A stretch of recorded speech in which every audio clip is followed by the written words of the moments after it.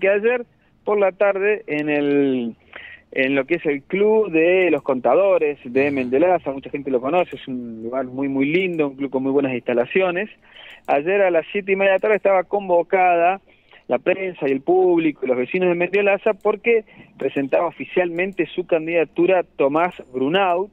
Eh, Tomás Brunau es el candidato finalmente de Unión por Córdoba, el candidato de, dicen ellos, del gobernador Juan Eschiaretti allí en Mendiolaza y se presentó con el eslogan Vamos Mendiolaza. Mm. Habíamos hablado con Tomás Brunau nosotros hace unos días también allá cuando estaba todavía corriendo el mes de febrero, porque claro, la situación que se presenta en Mendiolaza es la siguiente. Tenemos por un lado a Daniel Salivi, que es el intendente que lleva ya 20 años en el cargo y que va por este, la Unión Cívica Radical y Cambiemos, que sería su eh, en términos de posibilidades, su última chance de ser intendente de Mendoza ya no se le permitiría más, sino por la cantidad de años que lleva haciéndolo.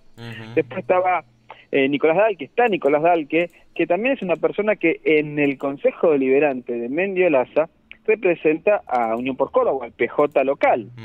Y aparecía Tomás Grunau, que es este candidato que comenzó a correr también allí en la zona, en Mendiolaza, y bueno, la especulación era que iba a pasar con estos dos candidatos que tienen naturalmente una afiliación peronista y a mucha expectativa había que se podían juntar quizás para, bueno, de esa manera quizás engrosar las posibilidades de dar la disputa y dar la batalla electoral allí el 14 de abril en Mendiolaza. Bueno, finalmente eso no ocurrió. Nicolás Dalque hizo otras alianzas, que es el Frente por Mendiolaza, donde, bueno, confluyeron distintas fuerzas políticas, desde el PSOL, desde, por mm. ejemplo, la, agrupación La Jaureche, por supuesto también eh, alguna, algún sector del peronismo de Mendiolaza que responde, Nicolás Dalque, y por otro lado Tomás Runau sostuvo su candidatura con este discurso que tiene que ver esencialmente con ser el candidato del gobernador Juan Schiaretti, que es en Mendiolaza donde tiene la imagen más positiva de todo el corredor de Sierras Chicas. Bien. Bueno, estuvimos en el lanzamiento, eh, algunas apostillas que te cuento ahora, eh, dentro del equipo que presentó, bueno, personas muy interesantes así de la zona, como por ejemplo Rosa Cativa, una periodista que también eh, tiene un recorrido importante en el sistema educativo, ha sido delegada en algunas escuelas, tuvo una militancia importante a partir de lo que fue el 15F y las inundaciones, eh, fue encargada de prensa de Cáritas en su momento, una persona con mucha trayectoria en Córdoba. También está el Mono Carrizo, quien fuera el fotógrafo insigne de La Voz del Interior durante mucho tiempo, hasta que se fue con retiro voluntario, era el jefe de editores de fotografía hasta que dejó ese, ese lugar, y es quizás uno de los fotógrafos más importantes que tiene Córdoba, que tiene muchos, pero un fotoperiodista de altísimo nivel, está trabajando en ese equipo, está Julio Chi también, que lo conocemos bien porque pasó también por, por Buenavista Radio. Bueno, y así otro grupo de, personas así, personas jóvenes, que eh, Constanza Mías, por ejemplo, que se suman al equipo de Tomás Grunau, que corre de atrás, Tomás Grunau, que decirlo en este momento, pero bueno, ayer eh, en el lanzamiento la expectativa era justamente esta, instalarse como la idea de ser eh, la propuesta más juvenil, juvenil o, joven, si se quiere, allí de la zona. También la idea de traer algunas propuestas que van desde el tratamiento de los residuos, allí es un tema complicado en Mendoza, hasta la cuestión de una reducción impositiva, ya lo vamos a escuchar en la nota que le hacíamos.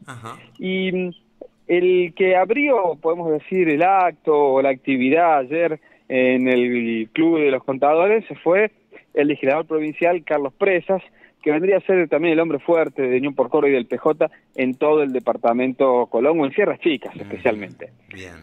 no sé si la tenés lista, pero si te parece escuchamos lo que nos decía Tomás Brunao luego de su lanzamiento allí del, eh, de lo que es Vamos Mendiolaza, que obtiene a él como figura principal que va a disputar las elecciones el próximo 14 de abril allí en Mendiolaza. Lo escuchamos.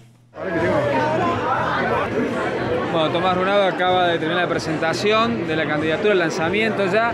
¿Cómo se hace para ganar una elección? Falta un mes y vas a enfrentar a un Salivi que lleva ya mucho tiempo y que es una figura aquí en la zona. ¿Cómo se busca el voto de los mendiolacenses? Mira, cuando empezamos este trabajo hace más de un año con el equipo que, me acompaña, tomamos la decisión de agarrar el camino más difícil, el más duro y el más largo, pero el que estamos convencidos el que más sirve, que es escuchar al vecino reunirnos con los vecinos, escuchar, aprender, tener humildad y en base a eso generar las propuestas que recién presentamos.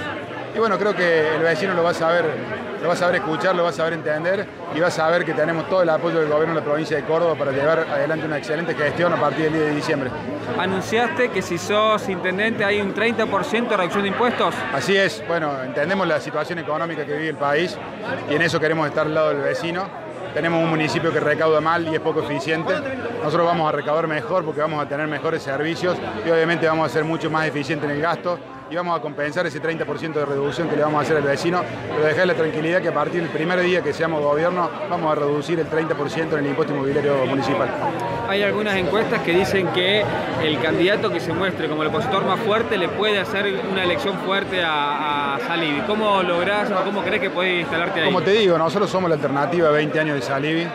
Eh, Unión por Córdoba es la alternativa, el equipo del gobernador Juan Schiaretti la alternativa que representamos nosotros.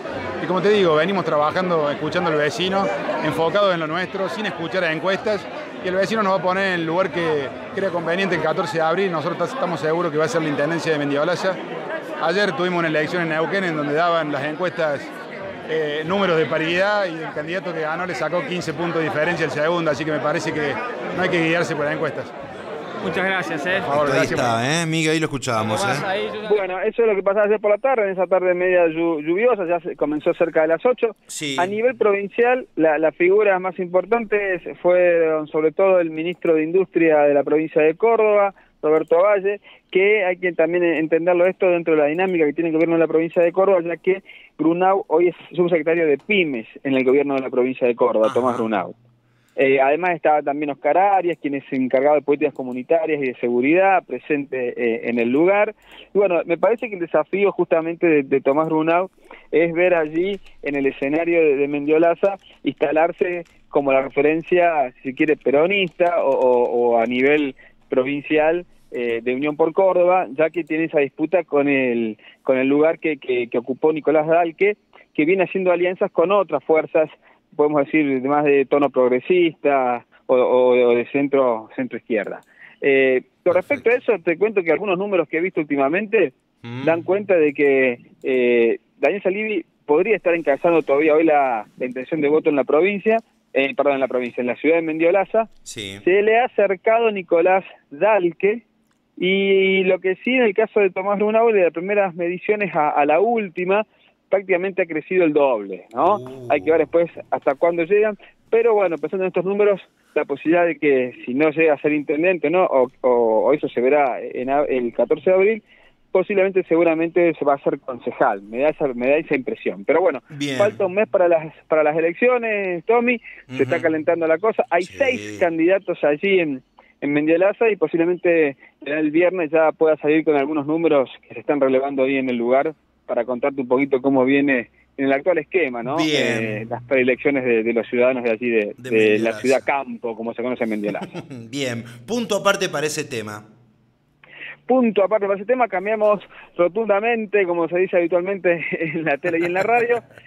Te cuento de una actividad muy interesante y algo que va a pasar en Sierras Chicas y me parece eh, que está bueno destacarlo. La semana próxima, el lunes precisamente, se va a inaugurar en Unquillo un centro de producción de eh, animación que tiene que ver con lo que es el polo audiovisual de la provincia de Córdoba. Ah, el polo audiovisual actualmente está en Córdoba, ha sido creada también por una resolución del Ministerio de Industria, lo preside eh, Álvarez a este polo audiovisual, pero lo que es el Centro de Producción de Animación, que va a ser un organismo, o podemos decir, una dependencia, un departamento descentralizado de este polo audiovisual, va a funcionar en Unquillo, en lo que se conoce como el castillo de Unquillo. Allí va a funcionar este centro de producción de animación audiovisual y me parece muy interesante para el desarrollo de la zona.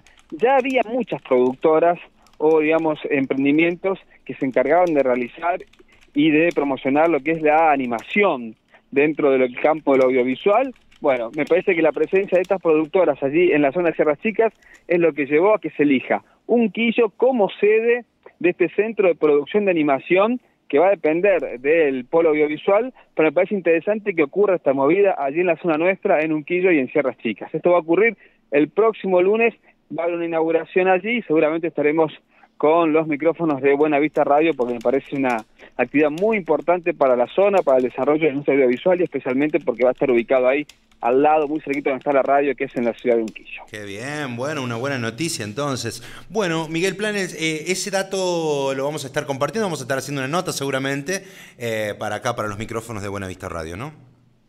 Por supuesto, claro que sí, Tommy. Te mando un abrazo bien grande y estamos hablando seguramente en estos próximos días contándote un poquito más de novedades de la vida política y social allí de, nuestra zona y donde haya noticias las traeremos y para el viernes prometo alguna encuestita nueva sobre lo, cómo están los números ahí en Mendiolaza. ¿eh? Miguel Planels, un abrazo, muchas gracias.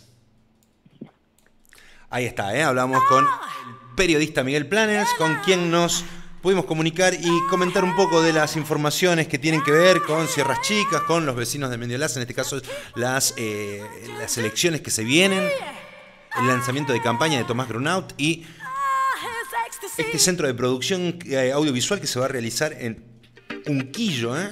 Así que bueno, vamos a estar charlando de eso más adelante también. Datos que se traen a esta hora de la mañana. Ok, ok.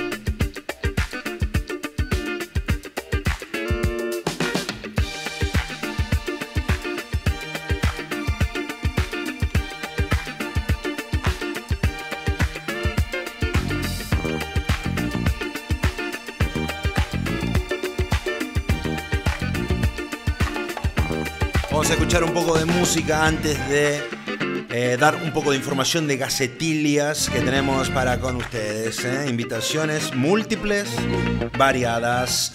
Vamos a escuchar a las Pussy Riot y volvemos en un ratito más. Buen día, buena vista acá en la 107.5. Quédense.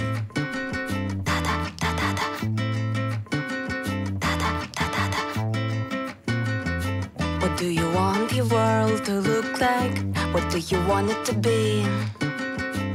Do you know that the world has two sides and nobody is free? Did your mama come from Mexico? Papa come from Palestine? Sneaking all through Syria, crossing all the borderlines. Let other people in. Listen to your women. Stop killing black children. Make America great again. Let other people in.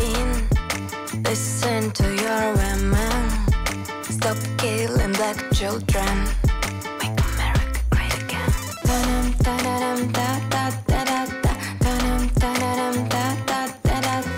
Could you imagine a politician calling a woman a dog? Do you wanna stay in the kitchen? Is that where you belong? How do you picture the perfect leader? How do you want him to be? Has he promoted the use of torture and killing families? Did your mama come from Mexico? Papa come from Palestine? Sneaking all through Syria, crossing all the borderlines. Let other people in. Listen to your women. Stop killing black children. Make America great again. Let other people in. Listen to your women.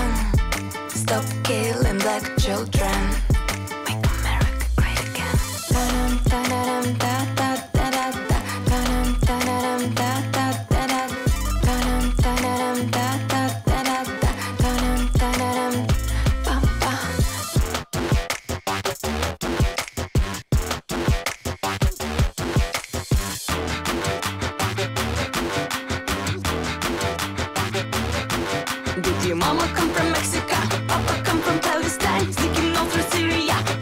The borderlines.